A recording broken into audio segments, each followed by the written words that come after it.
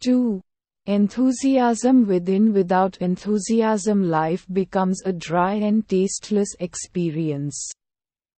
Anyone can become enthusiastic for a little while but to keep enthusiasm steadily flowing through our life is a great art. However, the secret is remarkably simple. Live in a state of appreciation. Appreciate the special qualities within everyone.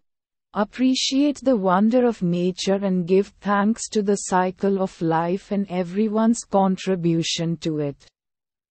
Enthusiasm is infectious, especially when it is based on an appreciation of, and love for, life itself.